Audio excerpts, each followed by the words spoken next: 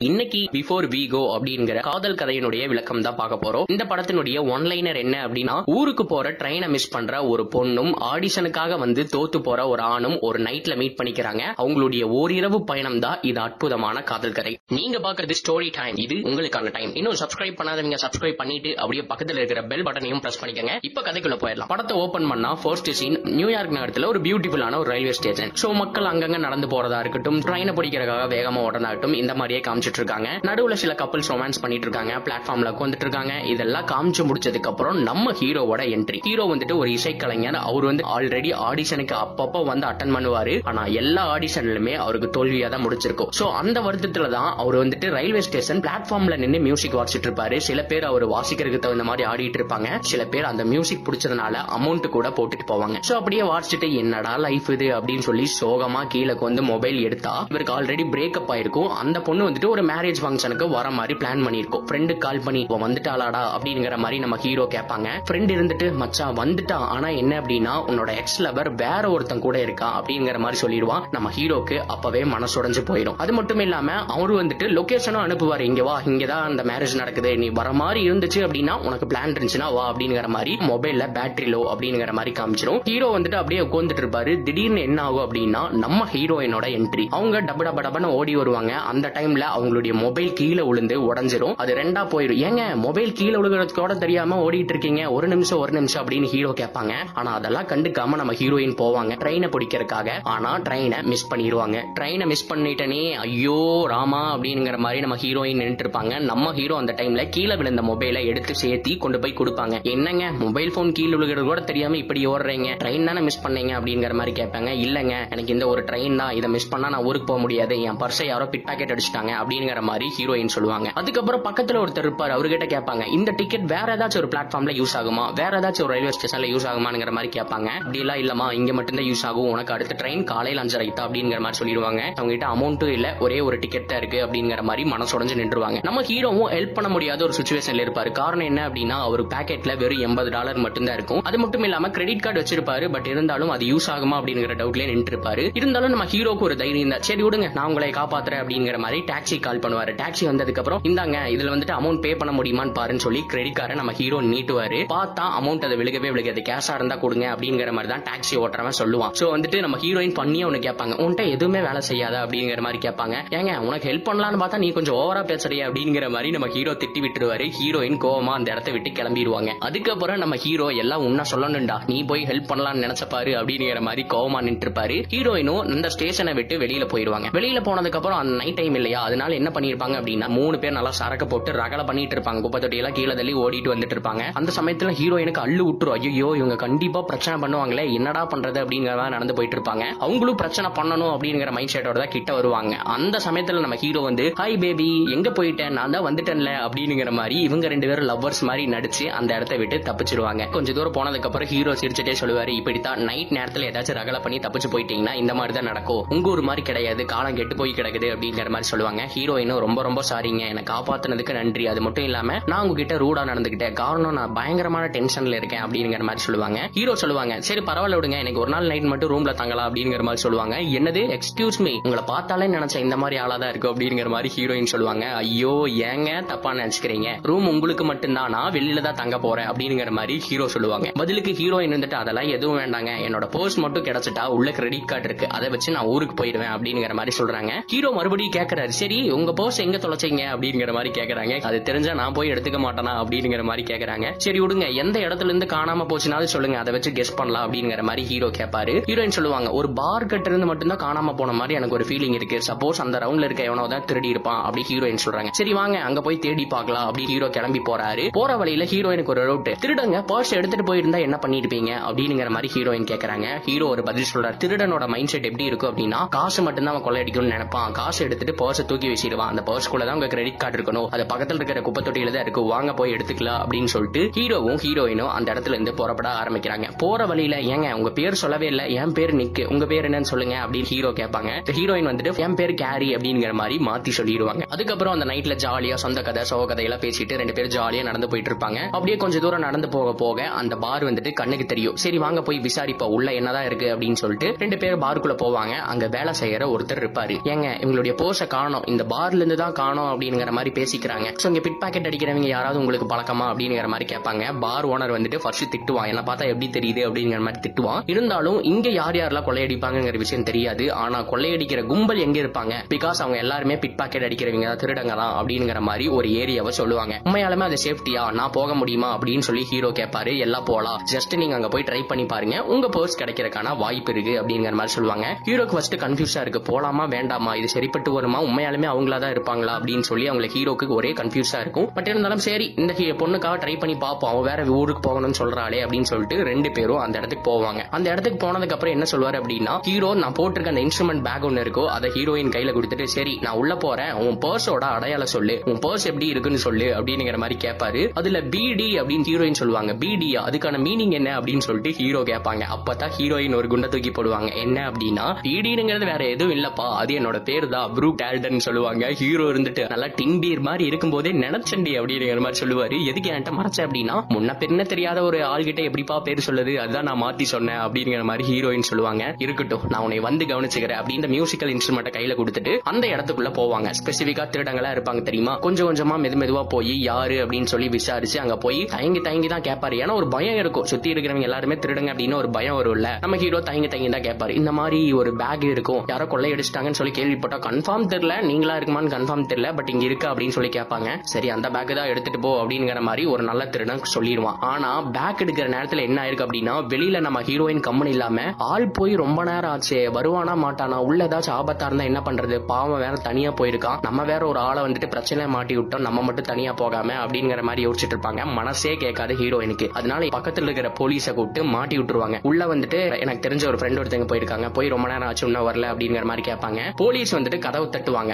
வெளியில சிசிடிவில இருக்கிறத திருடங்க பார்த்து என்ன பண்ணுவாங்க அப்படின்னா டேய் நீ மட்டும் தனியா வராம போலீஸோட வந்திருக்கியா? அப்படின்னு சொல்லி நம்ம ஹீரோக்கு மூக்கோட பொக்குன்னு ஒன்று விடுவானுங்க. ஹீரோவை அடிச்சது மட்டும் இல்லாம அந்த பர்ஸையும் தூக்கிட்டு அந்த இடத்த விட்டு திருடங்க சர்ருன்னு எஸ் ஆயிடுவாங்க. உள்ள வந்து போலீஸ் பார்த்தா யாருமே இருக்க மாட்டாங்க. நம்ம ஹீரோ மட்டும் மூக்குல ரத்தத்தோட தொடச்சிட்டு வெளியில வருவாரு. ஹீரோயின் வெளியில சிரிச்சிட்டு இருப்பாங்க நம்ம ஹீரோவை அப்படியே சிரிச்சுட்டே சொல்லுவாரு அடி பாவி ஆல்மோஸ்ட் நான் பர்ஸ் எடுத்திருப்பேன். ஏன்டி இப்படி பண்ணு? அப்படிங்கிற மாதிரி இருப்பாங்க. ஹீரோயின் இருந்துட்டு நான் என்னப்பா பண்றது? நீ வேற உள்ள தனியா போயிருக்கியா? நான் தேவையில்லாம ஒரு ஆளை வம்பல மாட்டிட்டேன்னு அப்படின்னு சொல்லி பயந்துட்டு தான் போலீஸை கூப்பிட்டேன். அப்படிங்கிற மாதிரி ஹீரோயினும் சிரிச்சுட்டே சொல்லுவாங்க. கொஞ்சம் தூரம் நடந்து போனதுக்கு அப்புறம் ஹீரோயின் நடந்து போற விஷயத்துல ஒன்று ஒன்று சொல்லிட்டே வருவாங்க. என்ன அப்படின்னா நீ எனக்கு வந்துட்டு இந்த மாதிரி மேரேஜ் இருக்கு நாளைக்கு காலையில அப்படிங்கிற மாதிரி சொல்லுவாங்க. ஹீரோக்கு ஒண்ணுமே புரியாது. என்ன மேரேஜ் அதை பத்தி உனக்கு எதுக்கு? நான் சீக்கிரம் போயே ஆகணும் அப்படிங்கிற மாதிரி ஹீரோயின் சொல்லுவாங்க. சரி ஓகே ஒன்றும் பிரச்சனை இல்லை. உன வழி அனுப்பி வைக்கிறேன். டாக்ஸி கால் பண்ணலாம் அப்படின்னு சொல்லிட்டு ஒரு டெலிஃபோன் பூத் கிட்ட போவாங்க. கால் பண்ணி கேட்டா ஆல்மோஸ்ட் ஃபைவ் ஹண்ட்ரட் டாலர் ஆகும்பா அவ்வளவு தூரம் ஊருக்கு போறக்கு அப்படிங்கிற மாதிரி சொல்லுவாங்க. சோ ரெண்டு பேத்துக்கிட்டமே அந்த அமௌண்ட் இருக்காது. சரி அமௌண்ட் நம்ம சேர்த்தணும். ஏதாச்சும் ஒரு வழி பண்ணியே ஆகணும் அப்படிங்கிற மாதிரி யோசிச்சுட்டே நடந்து போகும்போதா ஏ வெயிட் பண்ணு. என் ஃப்ரெண்டு ஒரு இன்னைக்கு ஒரு மேரேஜ் ஃபங்க்ஷன் இருக்கு. அங்க போனோம்னா அங்க பார்ட்டி எல்லாம் அவன் இருப்பான். அவன் மூலியமா நமக்கு அமௌண்ட் கிடைக்கும். வா போலாம் அப்படின்னு சொல்லிட்டு ஹீரோ கூப்பிட்டு போவாங்க.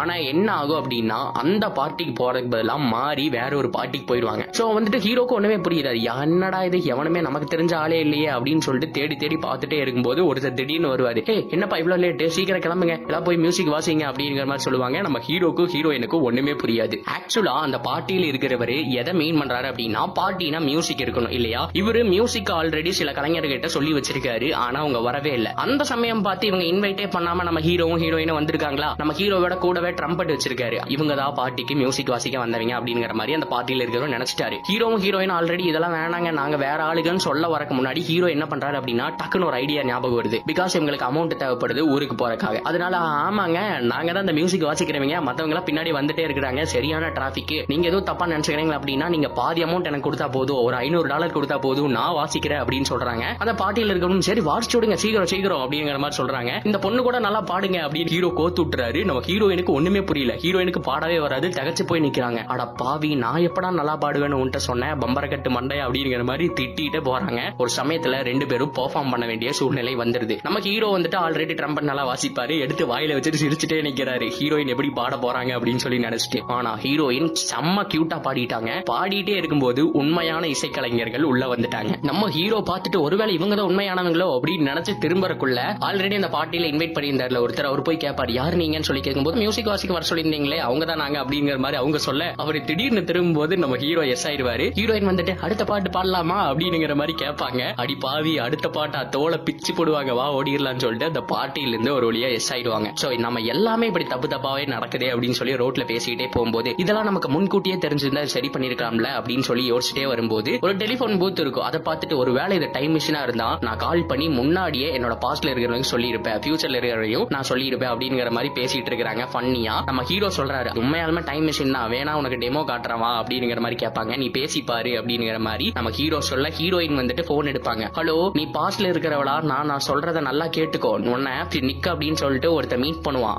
அவன் கூட மட்டும் நீ பேசிடவே பேசிடாதடி அப்படின்னு சொல்லி போனை வச்சிருவாங்க. பதிலுக்கு நம்ம ஹீரோவும் எடுத்து ஹலோ நீ பாஸ்ட்ல இருக்கிறவனா? நல்லா ஞாபகம் வச்சுக்கோ. இந்த டீம் தான் நாளைக்கு வின் பண்ண போறாங்க. இந்த டீம் மேல நீ பெட் கட்டின அப்படின்னா லட்ச லட்சமா வின் பண்ணலாம். அப்படின்னு சொல்லி நம்ம ஹீரோவும் ஃபன்னியா பேசுவாங்க. ரெண்டு பேரும் அப்படியே ஜாலியா பேசிட்டு நடந்து போயிட்டே இருக்கும்போது ஒரு ஐடியா ஒருத்தவங்க இருப்பாங்க தெரிஞ்சவங்க தான் அவங்க கிட்ட மொபைல் வாங்கி நம்ம நெக்ஸ்ட் அந்த பார்ட்டி எங்க நடக்குதுன்னு கேட்டு போய் நம்ம ஃப்ரெண்டை மீட் பண்ணி அமௌண்ட் வாங்கி உன்னை செட்டில் பண்ணி விட்டுறேன். அப்படிங்கிற மாதிரி நம்ம ஹீரோ கேட்பாரு சரி ஏதாச்சும் ஒன்று பண்ணுப்பா அப்படின்னு ஹீரோயினும் சொல்லிடுவாங்க. ஆனா நம்ம ஹீரோக்கும் மனசே இருக்காது. காரணம் என்ன அப்படின்னா பார்ட்டியில தான் எக்ஸ் கேர்ள் ஃப்ரெண்ட் இருக்கே. அவளை போய் பார்த்தாதான் விளங்காதே. சோ அழுக வந்துடும் நம்ம ஹீரோக்கு என்ன பண்றேனே தெரியாம நடந்து வந்துட்டு இருக்கும்போது அதெல்லாம் ஒன்றும் பிரச்சனை இல்லப்பா போய் பாரு அப்படிங்கிற மாதிரி நம்ம ஹீரோயினும் ஆறுதல் சொல்லி விடுவாங்க. அந்த சமயத்துல ஒரு நிமிஷம் ஒரு நிமிஷம் நம்ம இன்னொரு பிளான் போடலாமா அப்படின்னு ஹீரோயின் கேட்பாங்க. நம்ம ரெண்டு பேரும் இப்ப லவ்வர்ஸ் மாதிரி இருக்கும். லவ்வர்ஸ் மாதிரியே அந்த பார்ட்டிக்குள்ள போலாம். அந்த சமயத்துல உன் எக்ஸுக்கு கண்டிப்பா உன்னை பிடிக்க ஆரம்பிச்சிடும் மறுபடியும் உங்ககிட்ட வந்து பேசுவோம். நீங்க ரெண்டு பேரும் சேர்ந்துருவீங்க அப்படிங்கிற மாதிரி ஹீரோயின் சொல்றாங்க. ஹீரோ வந்துட்டு இந்த பிளான் நல்லா இருக்கே உண்மையாலுமே நீ லவர் மாதிரி நடிக்கிறியா? அப்படின்னு சொல்லி கேக்குறாங்க. சரி வா போலாம் அப்படின்னு சொல்லிட்டு ரெண்டு பேரும் லவ்வர்ஸ் மாதிரி உள்ள போறாங்க. ஆனா ஹீரோ எதிர்பார்த்ததான் நடந்துச்சு. என்ன அப்படின்னா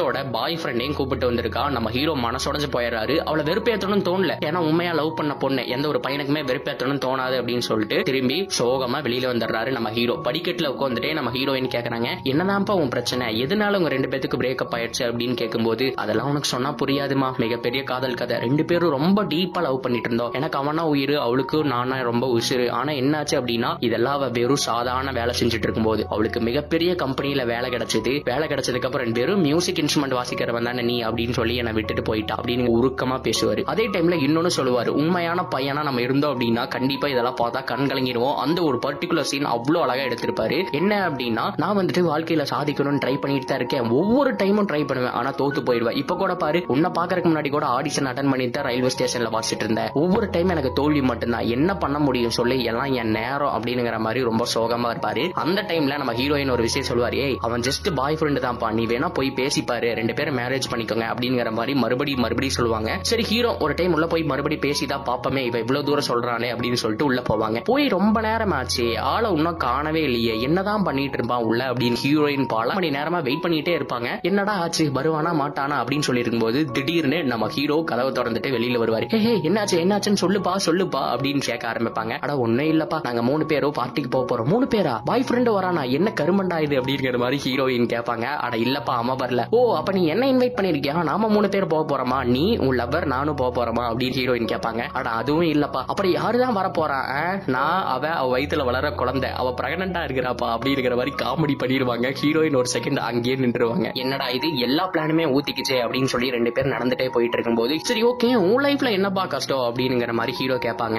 அப்பதான் ஹீரோயின் அவங்களுடைய கதை சொல்ல ஆரம்பிப்பாங்க. நான் ஒருத்தனை லவ் பண்ணேன் ரொம்ப டீப்பா லவ் பண்ணிட்டு இருந்தேன். உன்ன மாதிரி தானே வச்சுக்கவேன் ஆனா என்ன அப்படின்னா அவன் வேற ஒரு பொண்ணோட அஃபைர்ல இருந்தது. எனக்கு அப்பதான் தெரிய வந்துச்சு. அவன் இமெயில் செக் பண்ணும்போது தான் அந்த இமெயில நான் காமிக் புக் மாதிரி மறுபடி மறுபடி படிச்சுட்டே இருந்தேன். வெறி ஏறிச்சு. எனக்கு என்னடா பண்றதுனே தெரியல. அந்த சமயத்துல தான் உன்னை முடிவு பண்ணேன். அவங்க ரெண்டு பேரும் தான் அஃபைர்ல இருக்காங்களே நம்ம ஏன் இடையில போகணும் அப்படின்னு சொல்லிட்டு எனக்கு உன்னை பிடிக்கல. நீ வேற ஒரு பொண்ணு கூட நீ அஃபைர்ல இருக்கேங்கிறத எனக்கு தெரிஞ்சிருச்சு. அதனால நான் உன்னை கல்யாணம் பண்ணிக்க விரும்பல அப்படின்னு சொல்லிட்டு நான் ஒரு ரிங்க ஒரு கவர்க்குள்ள போட்டு அந்த லெட்டரையும் போட்டு வீட்டுல வச்சுட்டு ஓடி வந்துட்டேன். திடீர்னு நல்லா யோசிச்சு பார்க்கும்போது தோணுச்சு இல்ல நம்ம கண்டிப்பா அவங்க கிட்ட பேசினா மனசை மாத்திரலாம். ரெண்டு பேர் லவ் பண்ணி கல்யாணம் பண்ணி ஜாலியா இருக்கலாம் அப்படின்னு தோணுச்சு. அதுக்காக தான் அந்த லெட்டர் எடுக்கிறதுக்காக தான் நான் டக்குன்னு ஊருக்கு போய் ஆகணும் அப்படின்னு சொல்லிட்டு அவசர அவசரமா மொபைல் கூட கீழே விழுகிற தெரியாம ஓடிட்டு இருந்தேன். ஆனா அந்த ட்ரெயினை பிடிக்க முடியாம போச்சு. இந்த இடத்துல அவனால ஏமாற்றப்பட்டு நான் நின்று இருக்கேன் அப்படிங்கிற மாதிரி ஹீரோயினும் அவங்களுடைய கதையை சொல்லுவாங்க. ரெண்டு பேரும் சோகமா கொண்டுட்டு இருப்பாங்க. சோ ரெண்டு பேருமே ஒவ்வொரு ஆளால ஏமாற்றப்பட்டவங்க. அவங்க ஒவ்வொருத்தரும் என்ன அப்படின்னா அவங்கனால முக்கியமா ரொம்ப ரொம்ப நெருக்கமா நேசிக்கப்பட்ட ஆட்கள் அப்படிங்கிறது தெரிய வருது. இதுக்கப்புறம் அவங்களுக்கு ஒரு ரூமோட ஒரு கார்டு இருக்கும். அவங்க ஃப்ரெண்ட் மூலியமாவோ யார் மூலியமா கிடைச்சிருக்கும். ஃப்ரெஷ் ஆயிட்டு அடுத்து என்ன பண்ணலாம்னு யோசிக்கலாம் அப்படின்னு பிளான் பண்ணுவாங்க. நம்ம ஹீரோயினும் ஓகே சொல்லிடுவாங்க. அந்த ரூமுக்கும் போயிடுவாங்க. ரூமுக்கு போனதுக்கு அப்புறம் ஹீரோயின் சில விஷயங்களுக்கு சாரி சொல்லுவாங்க. ரெண்டு பேரும் ஃப்ரெஷ் ஆயிட்டு வருவாங்க. ஃப்ரெஷ் ஆயிட்டு வந்ததுக்கு அப்புறமே ரெண்டு பேர்னாலே கண்ட்ரோல் பண்ண முடியாது. அவங்க கிஸ் பண்ணிக்குவாங்க. அதுக்கப்புறம் வந்துட்டு சரி ஓகே ஓகே கண்ட்ரோலா இருக்கலாம் அப்படின்னு சொல்லிட்டு அவங்க சின்ன சின்ன விஷயங்கள் பேசுவாங்க. அப்புறம் டிராயிங் வரைவாங்க நோட் பண்ணுவாங்க. ஆர்ட் அப்படிங்கிறது ரொம்ப ரொம்ப சிறந்தது அப்படிங்கிற மாதிரி எல்லாம் தெரிஞ்சது மாதிரி நம்ம ஹீரோ பில்டப் பண்ணுவாரு. ஆனா படம் வரைய முடியாது. பேப்பர் கிழிச்சு வீசிடுவாங்க. ஒரே சண்டையா போயிட்டு இருக்கும். எல்லாம் முடிஞ்சதுக்கு அப்புறம் ஹீரோ ஒரு விஷயத்த சொல்லுவாரு. நம்ம ரெண்டு பேரும் சந்திக்கிறோம் அப்படின்னா நமக்கு ஏகப்பட்ட தோல்விகள் விஷயங்கள் நடந்திருக்கு. இது எல்லாமே நடக்கிறதுக்கு காரணம் நாம ரெண்டு பேரும் சந்திச்சிருக்கோம். ஸோ சம்திங் ஏதோ நடக்க போகுது அப்படிங்கிற மாதிரி ஹீரோ சொல்லுவாரு. ஹீரோயினும் லைட்டா ஸ்மைல் பண்ணுவாங்க. அடுத்த நாள்